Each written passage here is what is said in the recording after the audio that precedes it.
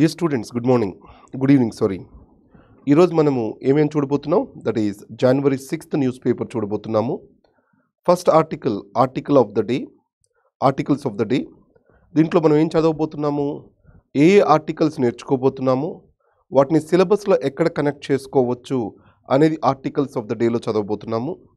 ఆ తర్వాత editorial analysis ఉంది. సటన్ ఇంపార్టెంట్ ఆర్టికల్స్ని కొన్ని కలెక్ట్ చేశారు. వాటి అనాలిసిస్ చూద్దాము.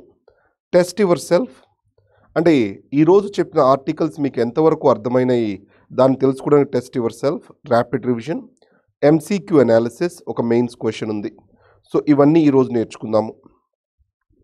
Now articles of the day history theatre of the absurd ఇక్కడ ఒక పాకిస్తానీ పోయెట్ రాసిన హమ్ దేకేంగే కాంట్రవర్షియల్ అయింది ఐఐటిలో. సో దాని గురించి తెలుసుకుంటాము. And then society safeguarding the idea of India India's unity in diversity social ఇష్యూస్లో ఈ టాపిక్ కోసం GS paper one social issues ఈ social ఇష్యూస్లో unity in diversity diversity of India ఆ కాన్సెప్ట్ కింద తెలుసుకుంటాము. And then international relations scoring a foreign policy self goal and దీంట్లో రెండు రోజుల క్రితం Suhasini Haidar defence sorry diplomatic capital అనే ఆర్టికల్ చదువుకున్నాము. దాని కంటిన్యూయేషన్గా ఈ ఆర్టికల్ చదువుకుంటున్నాము. సో ఇది ఎక్కడ ఫిట్ ఇన్ చేయొచ్చు? Foreign policy of India and then challenges next is spotting and opportunity in changing fundamentals ఇది China USA relations and changing global trade what are the opportunities for India so China USA మధ్య వస్తున్న tensions ఈ క్రమంలో భారతదేశానికి వస్తున్న అవకాశాలు వీటి గురించి ఇక్కడ తెలుసుకుంటాము.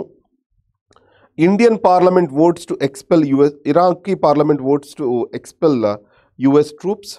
ఇది actually Qasem Soleimani major general Qasem సొలేమానిని అంతం చేసిన తర్వాత వస్తున్న ఐ మీన్ పర్యవసనాల్లో ఒక పర్యవసనం ఇది.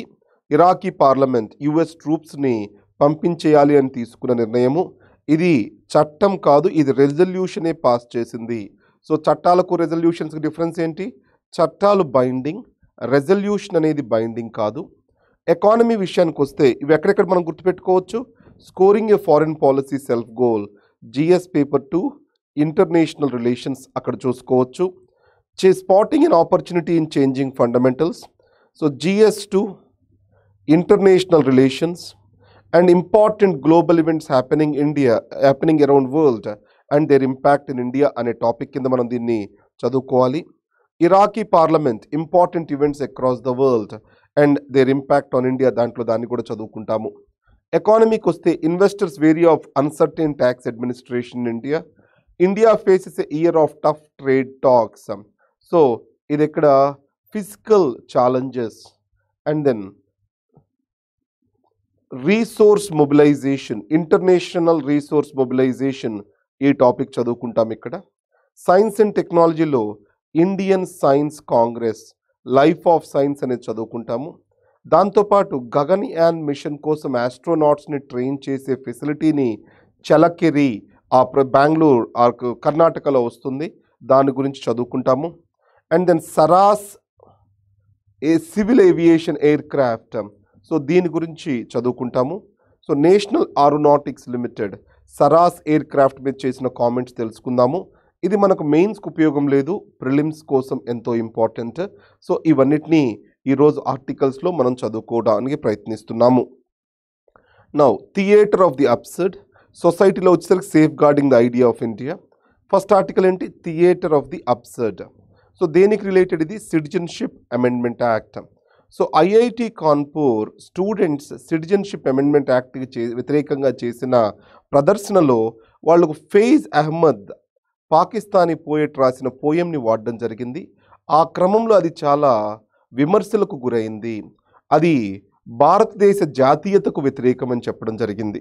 ఈ క్రమంలో ఈ ఫెయిజ్ అహ్మద్ ఎవరో ఇతను చూద్దాము. ఇతను ఒక Urdu poet Lahore native progressive writer. అంటే సో రిలీజియస్ ఫండమెంటలిజం మతవాదానికి వ్యతిరేకంగా అలానే సోషల్ ఇన్ఈక్వాలిటీస్కి సామాజిక అసమాన్యతల మీద న్యాయపరమైన ఇష్యూస్ మీద ఇతను అన్యాయాలను ఎదుర్కోవడానికి పోయమ్స్ కవితలు రాస్తూ ఉండేవాడు.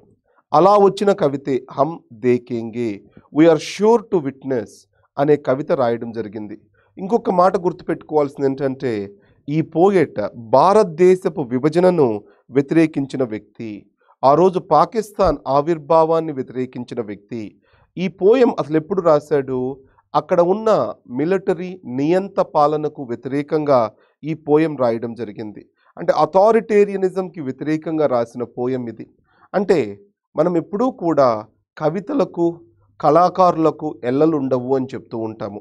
ఎక్కడైనా కానీ ఒక నియంతృత్వ పోకళ్ళు వచ్చినప్పుడు కళాకారులు వాళ్ళ వాళ్ళ కవితలను ఇవన్నిటినీ కూడా ప్రజలను మేలుకొలపడానికి వాడాలి. సో ఈ క్రమంలో విద్యార్థులు వాడిన ఈ కవిత వాళ్ళ భవిష్యత్తుని నాశనం చేసేటట్లు ప్రభుత్వం చర్యలు తీసుకుంటే అది చాలా తప్పు చర్య అని చెప్పడం జరిగింది. Next culture of India. So ఈ ఆర్టికల్లో కౌశిక్ బస్సు అండ్ మిస్టర్ సింగ్ వాళ్ళు రాసేది ఏంటంటే ఒక విషయం ఇది అర్థం చేసుకోవాలంటే మనము సోషల్ క్యాపిటల్ అనే కాన్సెప్ట్ అర్థం చేసుకోవాలి. సో ఈ సోషల్ క్యాపిటల్ అంటే మనుషులకు ఒకరి మీద ఒకరికి ఉండే నమ్మకము అనేది ఆ సమాజాన్ని చాలా సుస్థిరంగా ఉంచుతుంది. అక్కడ వెల్త్ క్రియేట్ చేయడానికి ఉపయోగపడుతుంది. ఎప్పుడైతే సమాజంలో ఒకరంటే ఒకరికి పడదు అసమానతలు ఉంటాయి అండ్ నమ్మకం ఉండదో ఆ సమాజము సుస్థిరతను కోల్పోయి అచేతనంగా తయారవుతుంది. సో సమాజంలో వ్యక్తుల మధ్య ఉండే ట్రస్ట్ అండ్ కాన్ఫిడెన్స్ దీన్నే మనం ఏమంటాం? సోషల్ క్యాపిటల్ అంటాము. సో ఈ సోషల్ క్యాపిటల్ ఏ దేశాల్లో అయితే ఎక్కువ ఉంటుందో ఆ దేశాలు ఆర్థిక అభివృద్ధి వైపు ముందుకు వెళ్తాయి. సో ఈ క్రమంలో భారతదేశపు యొక్క ముఖ్య ఆస్తి ఏంటి ఇప్పటి వరకు? ప్రజలకు డిఫరెంట్ సోషల్ గ్రూప్స్కి సామాజికంగా ఉన్న డిఫరెంట్ వ్యక్తులకు మధ్య ఒకరి మీద ఒకరికి నమ్మకము కలిసి పని చేసుకునే వాతావరణము. ఇవి ఉండడం వలన భారతదేశము పావర్టీలో ఉన్నా కానీ మనం ఎకనామికల్లీ ఎంతో కొంత ముందడుగు వేయడానికి ఉపయోగపడింది. So most of the reason for uh, political in spite of political instability భారతదేశం గ్రోత్ సాధించడానికి మేజర్ కారణం ఏంటి సమాజంలో ఉన్న సుస్థిరత ప్రజలు ఒకరి మీద ఒకరికి ఉన్న నమ్మకము. సో వీటిని పొలిటికల్ ఎక్స్ప్లాయిటేషన్ ఎప్పుడైతే జరుగుతోందో పొలిటికల్ ఎక్స్ప్లాయిటేషన్ కోసం మతపరంగా కులపరంగా ప్రాంతీయ ప్రాంతీయ పరంగా ఎప్పుడైతే ప్రజలను విభజించడం మొదలవుతుందో ఆ ట్రస్ట్ అనేది కొలాప్స్ అవుతుంది. ఆ ట్రస్ట్ కొలాప్స్ అయితే అది ఎకనామిక్ డౌన్ టౌన్ ఆర్థిక మాంద్యానికి కూడా కారణమవుతుంది. అంటే ఒక సమాజం ఏర్పడడానికి బీజం ఏంటి? ప్రజలకు ఒకరి మీద ఒకరికి ఉండే నమ్మకం. దీన్ని మనం ఏమన్నాం? Social capital. ప్రస్తుతము జరుగుతున్న పరిణామాల వల్ల భారతదేశం కోల్పోతుందేంటి? ఈ సోషల్ క్యాపిటల్. ఇది గుర్తుపెట్టుకోవాలి మనం. సోషల్ క్యాపిటల్ని మనం నష్టపోతున్నాము. సో మన పురాణాలు కానీ అండ్ మన ఫిలాసఫర్స్ కానీ చెప్పింది ఏంటి మతాల సారాంశం ఒక్కటే. ప్రజలందరూ ఐకమత్యంగా ఉండాలి. మానవత్వమే అసలైన మతము. మీకు వీలైనంత వరకు అందరితో కలివిడిగా ఉండండి. ఇవి సారాంశంగా చెప్పడం మొదలుపెట్టింది. గురు గోవింద్ సింగ్ ఏం చెప్పారు? Recognise all of humanity as one. Tagore cleanse your minds join hands with your with all. మీ మెదళ్ళను శుభ్రం చేసుకొని అందరితో చేతులు కలిపి ముందుకు వెళ్ళండి. గురు అర్జున్ ఏం చెప్పారు? No one is my enemy no one is stranger I'm connected with all ఎవరు? అందరితో కూడా నేను కలిసి ఉంటాను. సో మనం ఎవరి దగ్గర చూసినా కానీ ఏ మతాన్ని చూసినా కానీ ప్రముఖంగా చెప్పేది మానవత్వమే అసలైన మతము అనేసి. ఆ విషయం మీరు గుర్తుపెట్టుకోవాలి.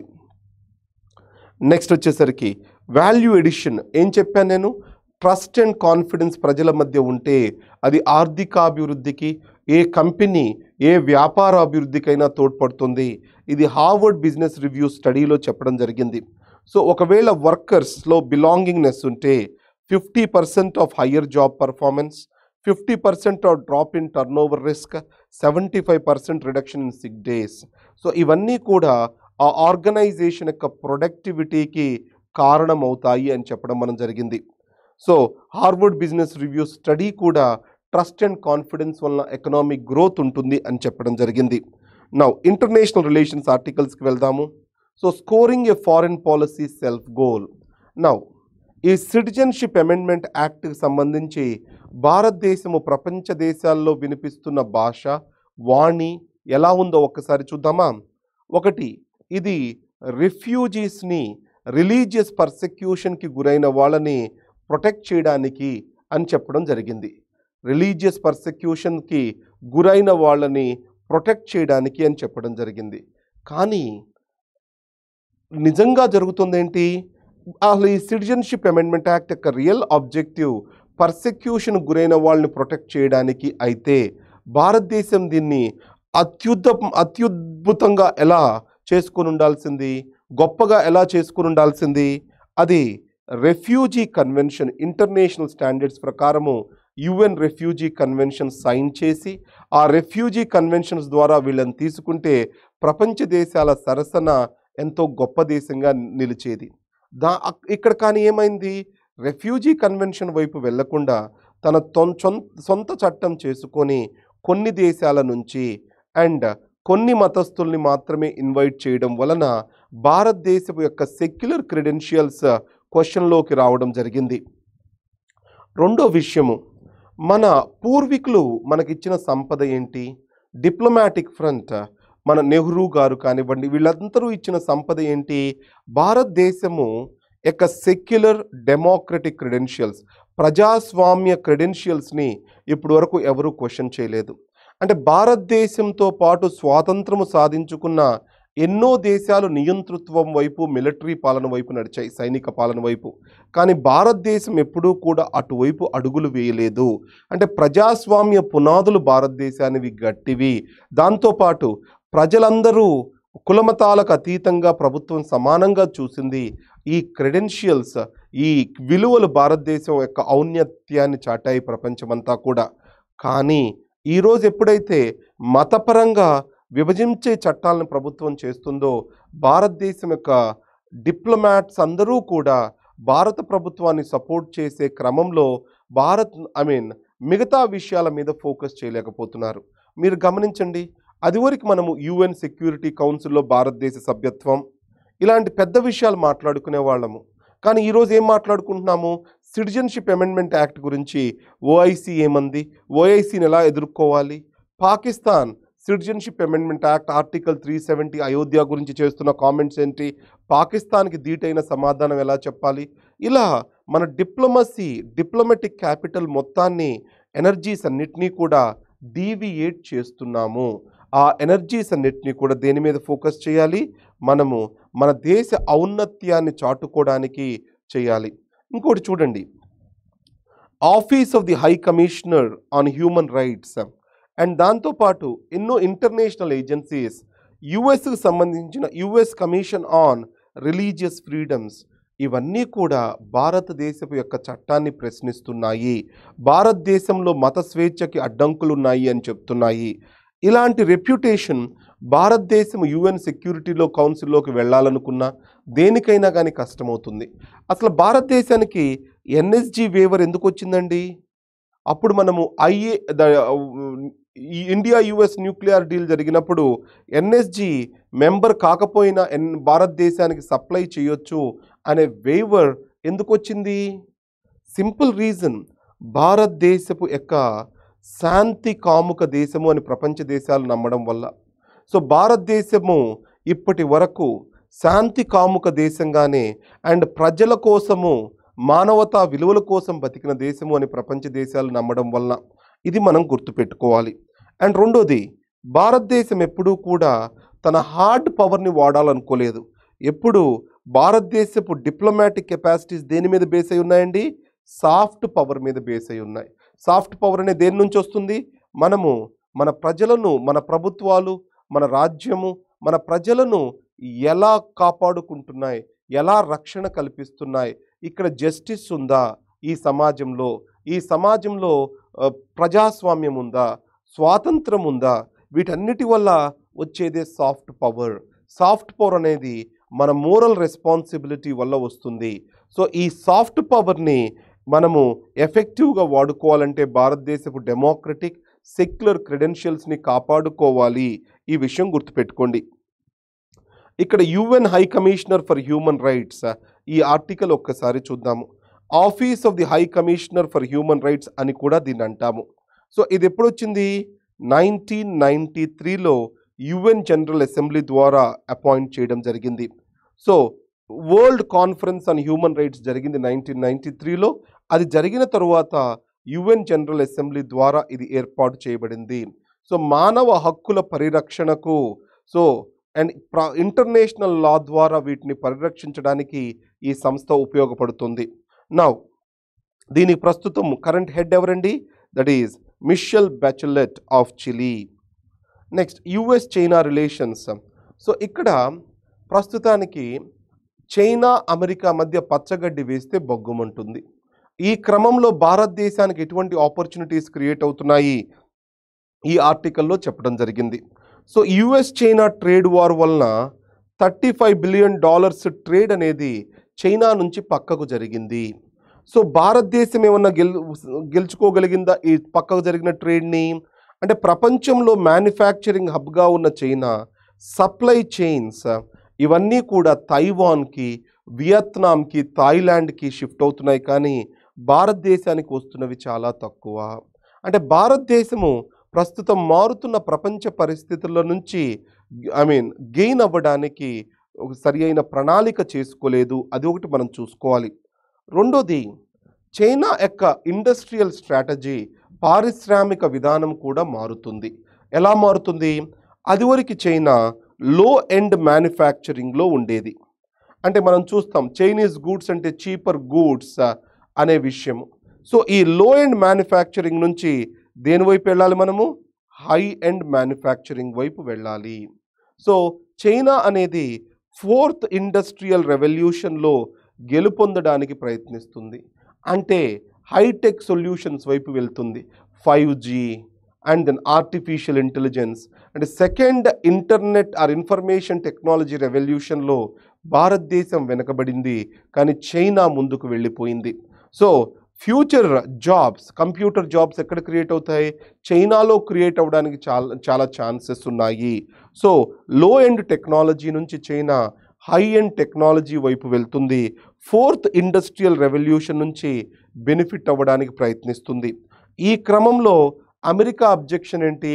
అమెరికా దగ్గర ఉన్న టెక్నాలజీస్ని రివర్స్ ఇంజనీరింగ్ ద్వారా దాంతోపాటు అమెరికా కంపెనీల మీద పెట్టే శాంక్షన్స్ వలన ఆర్ అమెరికా కంపెనీల మీద పెట్టే రెస్ట్రిక్షన్స్ వలన అక్కడికి వాళ్ళ యొక్క పేటెంట్స్ ఇంటలెక్చువల్ ప్రాపర్టీ రైట్స్ని చైనా మిస్యూజ్ చేస్తుంది అనేది అమెరికా యొక్క మేజర్ అబ్జెక్షన్. సో ఫస్ట్ వచ్చేసరికి ట్రేడ్ వార్ నడుస్తోంది. చైనా గూడ్స్ అమెరికాలో డంప్ అవుతున్నాయని. రెండోది చైనా అమెరికా యొక్క ఇంటలెక్చువల్ ప్రాపర్టీ రైట్స్కి సరైన ప్రొటెక్షన్ కల్పించలేదు అనేది రెండో ప్రమాదం. మూడోది ఇరాన్ ఇంటర్నేషనల్ అఫైర్స్లో చూస్తే ఇరాన్ చైనాని చాలా మంచి స్నేహితుడిగా ఫీల్ అవుతుంది. సో భారతదేశము అమెరికా ఒత్తిడి వల్ల ఇరాన్ నుంచి గ్యాస్ని ఇంపోర్ట్ చేసుకోవడం ఆపేసుకుంది. కానీ చైనా అక్కడ పెట్టుబడులు పెడుతూ అక్కడ బావులు తవ్వుతూ వాటికి తనే ప్రొటెక్షన్ ఇస్తూ చాలా దగ్గరి సంబంధాలు ఈరోజు ఇరాన్తో ఏర్పాటు చేసుకోవడం జరిగింది. సో ఈ క్రమంలో భారతదేశంకు ఎనర్జీ ఇన్సెక్యూరిటీ రావచ్చేమో కానీ చైనాకి రావడానికి తక్కువ. ఇంకొకసారి ఈ కాసిం సులేమాని హత్య జరిగినప్పుడు ఒక చిన్న ఇష్యూ అనలైజ్ చేద్దాం ఎనర్జీ ఇన్సెక్యూరిటీ వస్తుందని నేను మీకు చెప్పాను. ప్రపంచంలో ఆయిల్ ఇంపోర్ట్ చేసుకునే మూడు పెద్ద దేశాల పేర్లు అంటే ఫస్ట్ చైనా రెండు అమెరికా మూడు ఇండియా. ఇప్పుడు చైనా తన ఆయిల్ ఇంపోర్ట్స్ని డైవర్సిఫై చేసుకుందండి. అటువైపు రష్యాతో బార్డర్ ఉంది రష్యా నుంచి తెచ్చుకుంటుంది ఇటు ఇరాన్ నుంచి తెచ్చుకుంటుంది and then central Asian countries నుంచి కూడా తెచ్చుకుంటుంది. కానీ బా యుఎస్కి వచ్చేసరికి షేల్ గ్యాస్ విప్లవం వచ్చిన తర్వాత ఎనర్జీకి ఎటువంటి డోకా లేదు. అండ్ ఇండియాకు వచ్చేసరికి eighty percent of Indian imports ఎక్కడి నుంచి వస్తున్నాయి? మధ్యప్రాచ్యం నుంచి వస్తున్నాయి మిడిల్ ఈస్ట్ నుంచి వస్తున్నాయి. అంటే tomorrow Hormuz strait strait of హార్ముజ్లో ఏమన్నా ఇబ్బంది తలెత్తితే మొట్టమొదటి క్రైసిస్ ఏ దేశాన్ని హిట్ చేయబోతుంది? ఆయిల్ క్రైసిస్ భారతదేశాన్ని హిట్ చేయబోతుంది? ఇది గుర్తుపెట్టుకోండి. అండ్ ఈ ఆర్టికల్ యొక్క ముఖ్య ఉద్దేశం ఏంటి? భారతదేశము చైనా యుఎస్ మధ్య పెరుగుతున్న అంతరాల వలన ఆర్థికంగా చాలా లాభపడవచ్చు. ఎందుకోసము? ఇంటర్నేషనల్ కంపెనీస్ చైనాని మ్యానుఫ్యాక్చరింగ్ హబ్గా చేసుకున్నవన్నీ కూడా చైనాకి దూరం జరుగుతున్నాయి. దాంతోపాటు చైనా లో ఎండ్ మ్యానుఫ్యాక్చరింగ్ నుంచి హై ఎండ్ మ్యానుఫ్యాక్చరింగ్ వైపు షిఫ్ట్ అవుతుంది. ఈ క్రమంలో చాలా మ్యానుఫ్యాక్చరింగ్ జాబ్స్ ఇండియాకి షిఫ్ట్ అవడానికి అవకాశం ఉంది. రెండోది రీజనల్గా మనం చూసుకున్నా కానీ India Japan Australia and USA ఇవన్నీ కలిసి క్వాడ్ అనేది ఫామ్ అవ్వడానికి ప్రయత్నిస్తున్నాయి. సో ఈ ఇండియా జపాన్ ఆస్ట్రేలియా యుఎస్ఏ ఇవన్నీ డెమోక్రసీస్. సో ఈ క్రమంలో ఎన్ ఆల్టర్నేటివ్ డెమోక్రటిక్ ఫోర్స్ అనేది చైనాకి వ్యతిరేకంగా తయారవుతుంది. సో ఈ క్రమంలో ఈ ఆర్టికల్ రాయడం జరిగింది.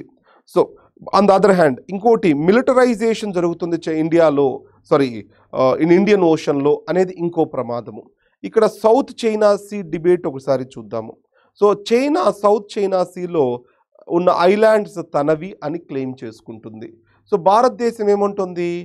ఫ్రీ ఓవర్ ఫ్లైట్ ఉండాలి. అండ్ దెన్ ఎటువంటి ఇంటర్నేషనల్ సీ రూట్స్ని వీటిని బ్లాక్ చేయకూడదు. ఇవి చెప్పడం క్లియర్గా చెప్పాము. సో ఇంకోటి belt and road initiative. So భారతదేశానికి బెల్ట్ అండ్ రోడ్ ఇనిషియేటివ్ మీద కొన్ని అబ్జెక్షన్స్ ఉన్నాయి. దీంట్లో one of the armies China Pakistan economic corridor. ఈ సిపిఈసి దేని గుండా వెళ్తుంది? పాక్ ఆక్యుపైడ్ కాశ్మీర్ గిల్గిత్ బాల్తిస్తాన్ రీజియన్స్ గుండా వెళ్తుంది. సో భారతదేశానికి అక్కడ టెరిటోరియల్ సావరిన్ సార్వభౌమత్వము ఉంది కనుక ఇవి ఇది భారతదేశం అపోజ్ చేస్తుంది. అండ్ రెండో కారణాలు ఏంటి సో చైనా భారతదేశము నైబర్హుడ్కి రావడానికి ప్రయత్నిస్తుంది. సో దాన్ని ఏమంటాం మనం? స్ట్రింగ్ ఆఫ్ పర్ల్స్ స్ట్రాటజీ అంటాము. చాలామంది దీన్ని డిబేట్ చేస్తారు but few foreign experts say string of pearls is still alive. అంటే రీసెంట్గా మనం శ్రీలంకలోను అండమాన్ దగ్గర చైనా యొక్క షిప్స్ని మనం చూసాము. ఎస్పెషల్లీ దిస్ స్టెల్త్ సబ్మెరైన్స్ని మనం అక్కడ చూడడం జరిగింది. అండ్ మూడోది భారతదేశం చుట్టుపక్కల ఉన్న దేశాలన్నీ కూడా చైనాకి రుణపడిపోతున్నాయి రుణం పెరిగిపోతుంది. ఎందుకోసం? అంబన్ తొట్ట పోర్ట్ అనేది మనం చూసాము ఈ అంబన్ తొట్ట పోర్ట్ శ్రీలంకలో ఎవరు కడుతున్నారు? చైనా వాళ్ళు కడుతున్నారు. దానికి విపరీతంగా చైనా వాళ్ళకు అప్పులు ఇచ్చింది. అంటే ఆ అప్పులు తీర్చాలి అంటే వాళ్ళకు ఎన్నో సంవత్సరాలు డికేడ్స్ పట్టే అవకాశం ఉంది. అంటే ఒక రకంగా డెప్ట్ ట్రాప్ క్రియేట్ అవుతుంది మన చుట్టుపక్కల ఉన్న దేశాల్లో. ఈ డెప్ట్ ట్రాప్ వల్ల చైనా ఉచ్చులో వాళ్ళు ఇరుక్కొనడానికి ప్రమాదం జరుగుతుంది. అండ్ ఇక్కడ India I mean belt and road ఇనిషియేటివ్లో part కాదు. ఈ క్రమంలో BRF belt and road forum అనే ఒక సదస్సును చైనా నిర్వహించింది. భారతదేశము ఈ బెల్ట్ అండ్ రోడ్ ఫోరంకి కూడా అటెండ్ అవ్వలేదు. అలాంటప్పుడు బెల్ట్ అండ్ రోడ్ ఇనిషియేటివ్ ఇంత పెద్ద ఇన్ఫ్రాస్ట్రక్చర్ ప్రాజెక్ట్ మన నైబర్హుడ్లో జరుగుతున్నప్పుడు బాల భారతదేశం దాని నుంచి ఎలా పొందాలి ఎలా గెయిన్ అవ్వాలి? సో ఈ క్రమంలో ప్రయోజనాలు ఎలా వస్తాయి భారతదేశానికి? భారతదేశము ఆల్టర్నేట్ ఇన్ఫ్రాస్ట్రక్చర్ ప్రాజెక్ట్స్ కనెక్టివిటీ దీనికి డెవలప్ చేసుకోగలిగితే భారతదేశానికి ప్రయోజనాలు ఉంటాయి. నువ్వు బెల్ట్ అండ్ రోడ్ ఇనిషియేటివ్లో జాయిన్ అవసరం లేదు. దానికి కనెక్ట్ అవుతూ alternative infrastructure project India develop చేసుకోగలిగితే దాని నుంచి కూడా మనము గెయిన్ అవడానికి అవకాశం ఉంటుంది. ఈ క్రమంలో ఆల్టర్నేటివ్ ఇన్ఫ్రాస్ట్రక్చర్ ప్రాజెక్ట్స్ ఏమొస్తున్నాయి? బ్లూ డాట్ నెట్వర్క్ ఈ బ్లూ డాట్ నెట్వర్క్ అనేది ఎవరెవరు చేస్తున్నారు? యుఎస్ఏ జపాన్ ఆస్ట్రేలియా ఈ మూడు కంట్రీస్ కలిసి దీన్ని డెవలప్ చేస్తున్నాయి. ఈ బ్లూ డాట్ నెట్వర్క్ని మనం చైనాకి ఆల్టర్నేటివ్గా బెల్ట్ అండ్ రోడ్ ఇనిషియేటివ్కి ఆల్టర్నేటివ్గా డెవలప్ అవుతున్న ఇన్ఫ్రాస్ట్రక్చర్ ప్రాజెక్ట్గా చూడవచ్చు. నెక్స్ట్ కాసిం సొలేమాని ఇరాక్లో చంపబడ్డారు. ఇతను ఇరాన్ యొక్క మేజర్ జనరల్. అమెరికా తన్ని ఇరాక్లో చంపడం వలన ఇరాక్ భూభాగాన్ని అమెరికా దుర్వినియోగం చేసినట్లు అవుతుంది దుర్వినియోగం చేసినట్లు అవుతుంది ఎలా అయిందో ఒక్కసారి చూద్దామా? సో అమెరికా సైన్యము ఇరాక్లో ఏం చేస్తుంది? ఇరాక్ పార్లమెంట్ వాళ్ళు ఉండాలి అని అడిగినందువల్ల అక్కడ ఉంటుంది. సో ఈ క్రమంలో అక్కడ ఉండడానికి అమెరికా ఏ ఏ పద్ధతులు పాటించాలో క్లియర్గా చెప్పడం జరిగింది. అంటే తన భూభాగాన్ని ఇంకో దేశంతో శత్రుత్వం పెంపొందించడానికి అమెరికా వాడకూడదు. ఇప్పుడు అక్కడ వేరే దేశపు మేజర్ జనరల్ని చంపడం వల్ల ఇరాక్ యొక్క సార్వభౌమత్వాన్ని క్వశ్చన్ చేసినట్లయింది. రెండోది ఇరాక్ని ఇరాన్తో యుద్ధంలోకి లాగినట్లయింది. సో అంటే మొత్తము మిడిల్ ఈస్టే అన్స్టేబుల్గా తయారైంది. సో ఇలా భూభాగాన్ని అమెరికా దుర్వినియోగం చేసింది. ఈ క్రమంలో ఇరాక్ పార్లమెంట్ ఏమని రెజల్యూషన్ పాస్ చేసిందండి? అమెరికా తన ట్రూప్స్ని ఇక్కడ నుంచి విత్డ్రా చేసుకోవాలి అనేది మన ఐ మీన్ ఇరాక్లో వాళ్ళు పెట్టిన ఇరాక్ పార్లమెంట్ పాస్ చేసిన రెజల్యూషన్. ఇది గుర్తుపెట్టుకోండి. Next who was major general Qasem Soleimani so ఈ was the commander of the Quds forces of Iranian revolutionary guards IRGC so is the second most powerful man in Iran అని చెప్పుకోవచ్చు మనం. Next so cartoon ఒక్కసారి చూడండి. So ఇతను సులేమానీని చంపేశాను అనుకుంటున్నాడు Trump. ఆయన ఒక పెద్ద భూతం అయ్యి ట్రంప్ను భయపెట్టే పరిస్థితి వచ్చింది. ఒక యుద్ధ మేఘాలు మిడిల్ ఈస్ట్లో కమ్ముకుంటున్నాయి. ఇది ప్రపంచ శాంతికి ముఖ్యంగా అమెరికా యొక్క ఆధిపత్యానికి ఎందుకు మంచిది కాదు అనేది మనం ఇక్కడ చెప్పుకున్నాం. నెక్స్ట్ ఎకానమీ వైపు వెళ్దాము. Next investors wary of uncertain tax administration in India. ఇక్కడ రెండు ట్యాక్సెస్ గురించి మాట్లాడడం జరిగింది. ఒకటి dividend distribution tax buy back buy back tax. Dividend distribution tax అంటే ఏంటి? సో ఇండియన్ కంపెనీస్ వాటి యొక్క ఇన్వెస్టర్స్ అండ్ షేర్ హోల్డర్స్కి పే చేసే ట్యాక్స్ని ఏమంటాము డివిడెండ్ డిస్ట్రిబ్యూషన్ ట్యాక్స్ అంటాము. సో ఈ డివిడెండ్ డిస్ట్రిబ్యూషన్ ట్యాక్స్ని అవాయిడ్ చేయడానికి కంపెనీస్ షేర్ బైబ్యాక్ అనే పాలసీని తీసుకొస్తున్నాయని అనే అనుమానంతో గవర్నమెంట్ ట్వంటీ పర్సెంట్ ట్యాక్స్ విధించింది. దేని మీద? షేర్ బైబ్యాక్స్ మీద. సో డివిడెండ్ డిస్ట్రిబ్యూషన్ ట్యాక్స్లో లూప్ హోల్స్ని ప్లక్ చేయడానికి షేర్ బైబ్యాక్ అనేది వచ్చింది. ఇది ప్రమాదకరము. ఇలా ఎప్పటికప్పుడు గవర్నమెంట్ కొత్త ట్యాక్సెస్ తీసుకొస్తూ ఉంటే దాని వలన ఒక అన్సర్టైన్ అట్మాస్ఫియర్ వస్తుంది. దాంతో విదేశీ మదుపర్లకు ఆర్ ఇన్వెస్టర్స్కి భారతదేశంలో ట్యాక్స్ అడ్మినిస్ట్రేషన్ ఎప్పుడు స్టేబుల్గా ఉండదు. ఏ రోజైనా కానీ పన్ను చట్టాలు మారవచ్చు మన వెన్ను విరవవచ్చు అనే ఒపీనియన్ బలపడితే ఇన్వెస్టర్స్ రారు అని చెప్పడం జరిగింది. India faces year of tough trade talks ప్రస్తుతం భారతదేశం ఏ ఏ దేశాలతో వాణిజ్య ఒప్పందాలను చేసుకోవడానికి ప్రయత్నిస్తుంది? ఒకటి Australia. ఆస్ట్రేలియాతో comprehensive economic and cooperation agreement CECP European union తోటి bilateral trade and investment agreement ఈ రెండిటి యొక్క టాక్స్ నడుస్తున్నాయి. ఆర్సీఈపి మీకు తెలుసు భారతదేశం అన్లెస్ మా పారిశ్రామికవేత్తలకు చిన్న పారిశ్రామికవేత్తలకు రైతులకు ఉపయోగపడే విధంగా ఉంటేనే దాంట్లో జాయిన్ అవుతాను అని చెప్పడం జరిగింది. సో ఇక్కడ ఈయూతో భారతదేశానికి వస్తున్న మేజర్ ప్రాబ్లం ఏంటి? యూరోపియన్ యూనియన్ స్పిరిట్స్ అంటే మన ఆల్కహాల్ లాంటివి బైక్స్ అండ్ ఆటోమొబైల్స్ వీటిని ఇంపోర్ట్ చేసుకోవడానికి ప్రెషరైజ్ చేస్తుంది. భారతదేశము వాటి మీద సుంకాలు ఎక్కువగా ఉన్నాయి. రెండోది అక్కడ నుంచి వచ్చే వస్తువులు అండ్ భారతదేశపు యొక్క డొమెస్టిక్ ఇండస్ట్రీని చంపేయకూడదు. సో దాంతో ఆ ఒప్పందము దూరం జరుగుతూ ఉంది. భారతదేశం ఏముంటుంది? నువ్వు మా పళ్ళు కూరగాయలు ఇలాంటివి కొనుక్కోవడానికి చాలా ఏం చేస్తున్నావు? నిబంధనలు పెడుతున్నావు. అంటే పెస్టిసైడ్ ఇంత ఉండకూడదు ఇది ఇంత ఉండకూడదు అని phytosanitary measures and non trade barriers trade barriers అంటే టారిఫ్ బ్యారియర్స్ అంటే ఏంటి? టారిఫ్ బ్యారియర్స్ అంటే దాని మీద సుంకాలు. నాన్ టారిఫ్ బ్యారియర్స్ అంటే ఇది బాగోలేదు ఇది నేను తీసుకోను దీంట్లో పెస్టిసైడ్ ఉంది దీంట్లో పురుగు ఉంది పుట్టుమచ్చు ఉంది అని చెప్పేవి non tariff barriers. So non tariff barriers Europe ఎక్కువ విధిస్తుంది అవి భారతదేశానికి ఇబ్బందిగా ఉన్నాయి. నా ఇంకా ఇబ్బందులు ఏంటి యూరోపియన్ యూనియన్తో? సో ఇండియాని ఇండియా ఐటీ ప్రొఫెషనల్స్ అక్కడ వెళ్ళి వర్క్ చేయాలి అంటే భారతదేశానికి డేటా సెక్యూర్ స్టేటస్ అనేది ఇవ్వాలి. కానీ యూరోపియన్ యూనియన్ భారతదేశానికి డేటా సెక్యూర్ స్టేటస్ అనేది ఇప్పటివరకు ఆఫర్ చేయలేదు. అండ్ దెన్ యూకే విషయానికి చూస్తే భారతదేశపు విద్యార్థులకు అవి డిస్క్రిమినేటరీగా ఉన్నాయి. And pharmaceutical products doctor Reddy laboratories ఇవన్నీ జర్మనీలో వేరియస్ కంపెనీస్ని అండ్ దెన్ డ్రగ్స్ని ఫార్మా కంపెనీస్ని కొనుక్కున్నాయి. కానీ సెవెన్ హండ్రెడ్ ఫార్మస్యూటికల్ ప్రొడక్ట్స్ మీద భారతదేశంలో ప్రొడ్యూస్ చేసినవి క్వాలిటీ లేవు అని బ్యాన్ చేయడం జరిగింది. అండ్ దాంతోపాటు ఒక విషయం గుర్తుపెట్టుకోండి. బైలేటరల్ ఇన్వెస్ట్మెంట్ ట్రీటీస్ అంటే అక్కడ వాళ్ళు ఇక్కడ ఇన్వెస్ట్ చేస్తే వాటిని భారతదేశం ప్రొటెక్ట్ చేస్తుంది అనడానికి ఒక ఇన్వెస్ట్మెంట్ ట్రీటీ చేసుకున్నారు. వాటిని ఏమన్నా bilateral investment treaty or agreements అంటాము. భారతదేశము వీటిని రద్దు చేసుకుంటుంది. ఎందుకు రద్దు చేసుకుంటుంది? వొడాఫోన్ విషయంలోనూ భారతదేశాన్ని అంతరిక్ష విషయంలోనూ అంతర్జాతీయ కోర్టులకు లాగడం జరిగింది. సో దాంతో భారతదేశం బయలేటరల్ ఇన్వెస్ట్మెంట్ ట్రీటీస్కి తనకు అనుకూలంగా లేవు అని వాటన్నిటి నుంచి విత్డ్రా అవుతుంది. వాటి నుంచి విత్డ్రా అయితే ఇన్వెస్టర్ ఇంత పెట్టుబడి పెట్టిన వాడికి గ్యారంటీ ఏంటి? ఆ గ్యారంటీ లేదు అనే భయంతో వీళ్ళు దా తగ్గిపోతున్నారు.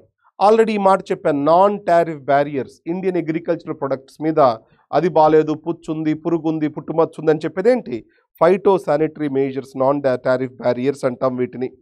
సైన్స్ అండ్ టెక్నాలజీలోకి వస్తాము. సైన్స్ అంటే ఏంటండి అసలు? ఏదైనా విషయానికి ఒక వ్యాలిడ్ ప్రూఫ్ ఉంటేనే దాన్ని సైన్స్ అంటాము.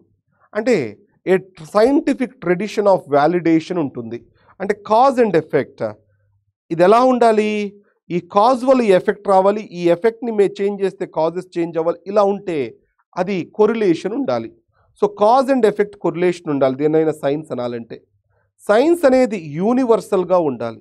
ఎక్కడికి పోయినా సైన్స్ సైన్సే అంటే హ్యూమన్ బాడీలో లివర్ ఇక్కడ ఎలా ఉంటుందో అమెరికా పోయినా అంతే ఉంటుంది ప్రపంచంలో ఎక్కడికి పోయినా అలా ఉంటుంది. దాని యూనివర్సాలిటీ అంటాము. సో ఈ క్రమంలో ఇండియన్ సైన్స్ కాంగ్రెస్లో మన కన్సర్న్స్ ఏంటి? ఫస్ట్ ఇది ఒక సైంటిఫిక్ ట్రెడిషన్ని భారతదేశంలో ప్రోత్సహించడానికి మన స్వాతంత్రం పూర్వం నుంచి ఉంది. అందువల్ల ఒక ట్రెడిషన్ ఎస్టాబ్లిష్ అయింది. ప్రతి సంవత్సరం జరిగే సైన్స్ కాంగ్రెస్ని ప్రధానమంత్రి వచ్చి ప్రారంభిస్తారు. ఆ దేశంలో ఉన్న సైన్స్ ఆవిష్కారాలను ప్రజలకు డిస్ప్లే చేస్తారు. స్కూల్ విద్యార్థులకు చూపెడతారు. మనం ఫండమెంటల్ డ్యూటీస్ చూస్తే సైంటిఫిక్ టెంపర్ని డెవలప్ చేయడము అనేది ఒక రాజ్యాంగం ఐ మీన్ నిర్దేశించిన డ్యూటీ లాగా ఉంది. So fundamental డ్యూటీస్లో rational enquiry scientific temper humanism develop చేసుకోవడము ఒక ప్రాథమిక బాధ్యతగా గుర్తించడం జరిగింది. ఈ క్రమంలో ఇండియన్ సైన్స్ కాంగ్రెస్ ఆ బాధ్యతను ఎంతో కొంత నిర్వర్తిస్తుంది. కానీ ఈ రోజుల్లో కొన్ని గొప్ప గొప్ప మాటలు ఎటువంటి వెరిఫికేషన్ లేని మాటలు భారతదేశంలో వినాయకుడు ఉన్నప్పుడే జెనెటిక్ ఇంజనీరింగ్ ఉంది. ఇలా మాటలు చెప్పడం జరిగింది. సో ఈ మాటలు అనేవి సైంటిఫిక్ వ్యాలిడిటీ లేవు. సో ఇలాంటివి భారతదేశం పొరుగు తీస్తాయి అని ఈ ఆర్టికల్ యొక్క ముఖ్య ఉద్దేశం. So Indian science congress association ఎక్కడుందండి? కోల్కత్తాలో ఉంది. సో ఇక్కడ చూడండి.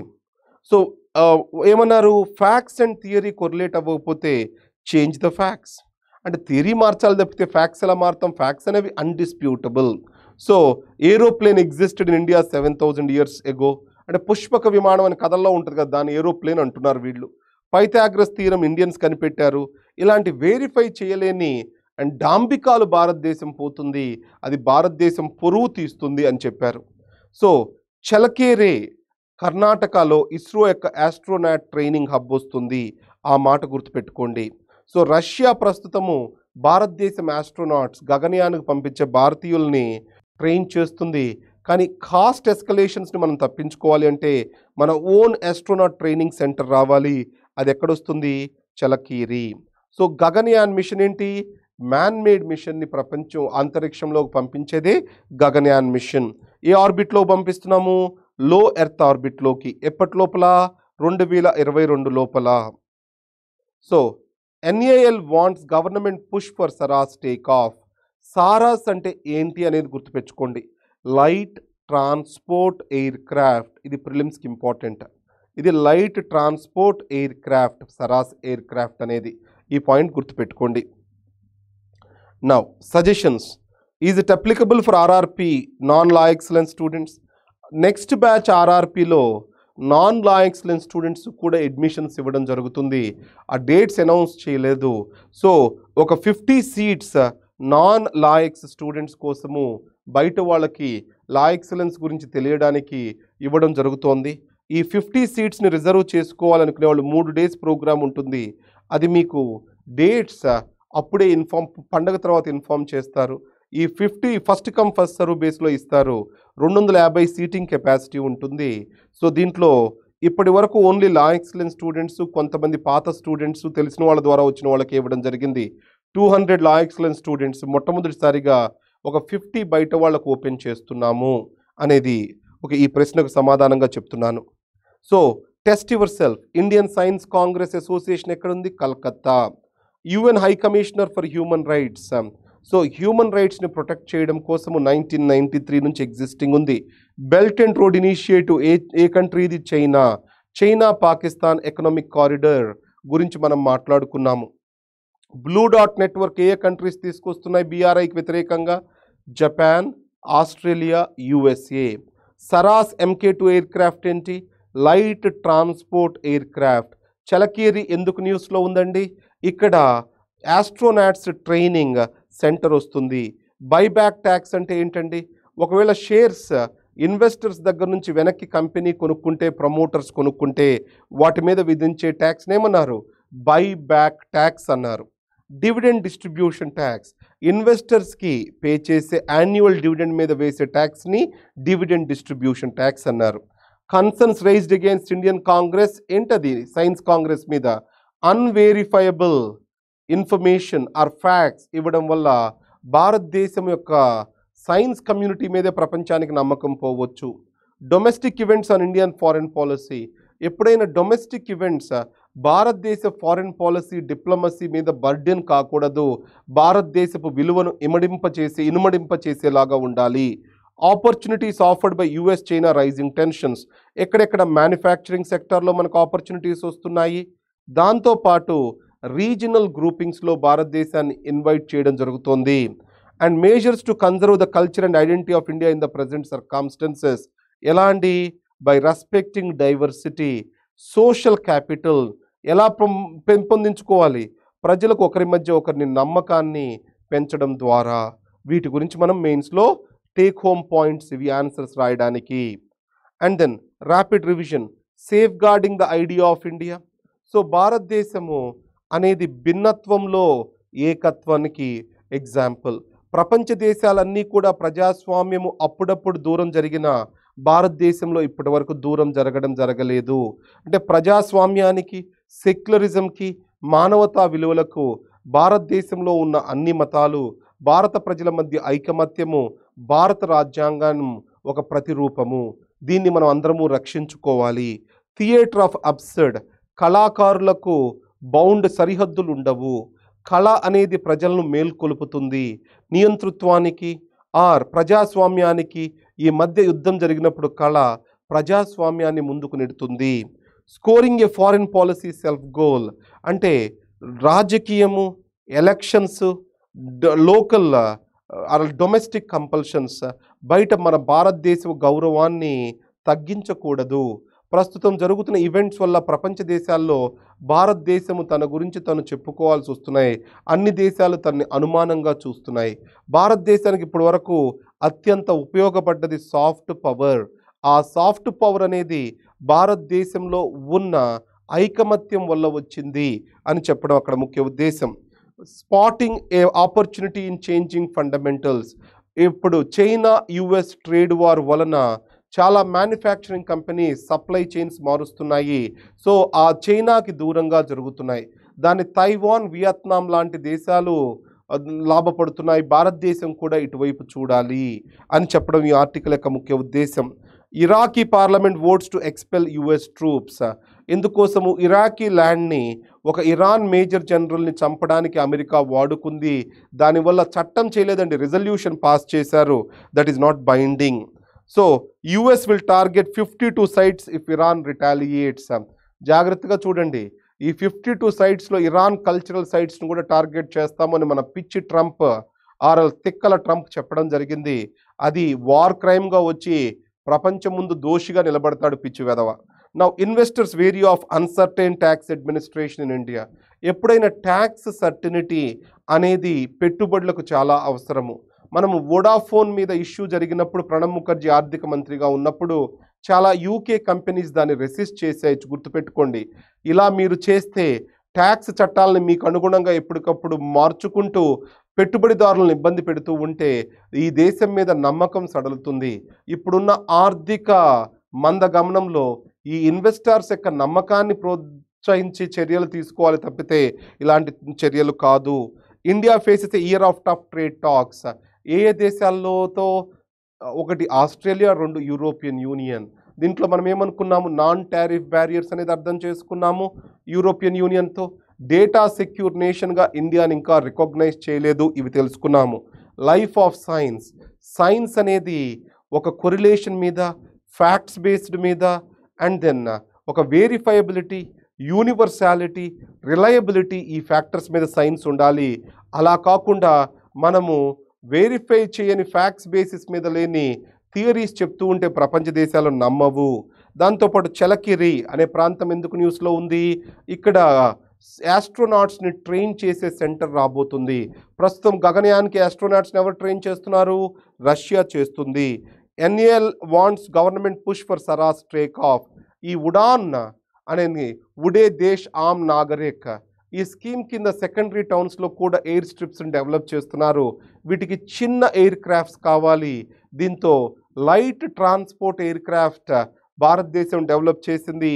దాన్ని ఏమంటాము? సరాస్ అంటాము. క్వశ్చన్స్ చూద్దాము. Consider the following statements with regard to UN high commissioner of human rights it was established as result of world conference on human rights ఇది పంతొమ్మిది వందల తొంభై మూడులో జరిగింది. Yes it only monitors the implementation of those rights which are conferred through universal declaration of human rights only అనేది వచ్చిందా ఇక్కడ? It only monitors లేదండి. ఇది ఒక్కటే కాదు. దీంతో పాటు ఎటువంటి మానవ హక్కులనైనా ఇది మానిటర్ చేస్తుంది. అంటే సెకండ్ స్టేట్మెంట్ రైటా రాంగ్ రాంగ్ అండి. అంటే ఆన్సర్ ఏమవ్వాలండి ఇక్కడ? వన్ ఓన్లీ కరెక్ట్ స్టేట్మెంట్ అడుగుతున్నారు కాబట్టి one only which of the following country is not part of the blue dot network so far so India క్వాడ్లో ఈ నాలుగు కంట్రీస్ ఉన్నాయండి పొలిటికల్ గ్రూపింగ్లో. సో దీంట్లో మైనస్ ఇండియా అనేది blue dot network.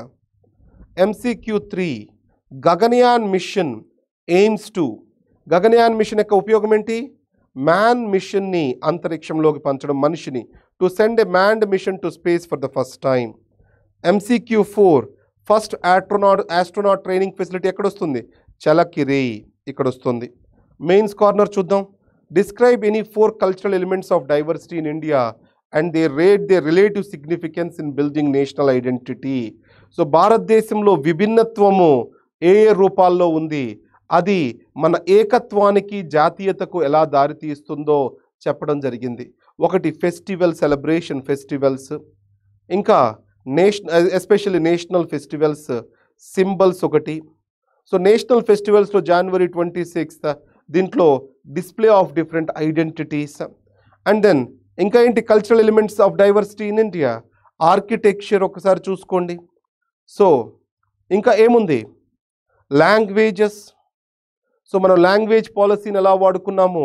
లాంగ్వేజ్ అనే diversity official language పాలసీని schedule ఎయిట్ని అది నేషనల్గా ఎలా ఉపయోగపడ్డది? ఇవన్నీ రాసుకుంటే ఆన్సర్ అయిపోతుంది ఇక్కడ.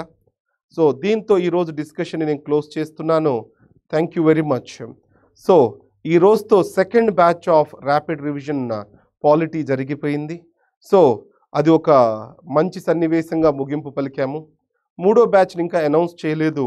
ఈ లోపల మేము geography economy history environment current affairs India year book economic survey schemes and programmes ఈ ప్రోగ్రామ్స్ మీద వర్క్ చేయడానికి ఆర్ఎండి టీమ్కి ఇన్స్ట్రక్షన్స్ ఇచ్చాము. సో ఈ ప్రిలిమ్స్ అయ్యేసరికి హైదరాబాద్లో బెంగళూరులో రిజల్ట్స్ పెంచాలి. సో ఈ సంవత్సరం అట్లీస్ట్ మా ఇన్స్టిట్యూట్ నుంచి two fifty to three hundred members prelims clear చేయాలి అనేది టార్గెట్గా పెట్టుకొని వర్క్ చేస్తున్నాము. సో దాంతో మెయిన్స్ రిజల్ట్ మెయిన్స్కి సఫిషియంట్ చంక్ ఉంటారు ఫస్ట్ అటెంప్ట్ నుంచి. సో ఫస్ట్ అటెంప్ట్ నుంచి రిజల్ట్ రావడానికి అవకాశం ఉంటుంది. దాని మీద ప్రయత్నిస్తూ ఉన్నాము సో మీరందరూ కష్టపడి చదవండి. రిజల్ట్స్ అనేవి కష్టపడితే సులభంగా వస్తాయి. బ్రహ్మ ప్ర సక్సెస్ అయిన ప్రతి ఒక్కడు కూడా మనలాంటి వాడే. వాడేమి ఆకాశం నుంచి రాలేదు. మనలాంటి వాడే. సో వాడి నుంచి మనం నేర్చుకునేది కన్సిస్టెన్సీ హార్డ్ వర్క్. ఈ రెండింటిని నేర్చుకొని మనం కూడా గొప్పవాళ్ళం అవుదాము ఆ మాట గుర్తుపెట్టుకోండి. ఉంటాను. గుడ్ నైట్ అండి.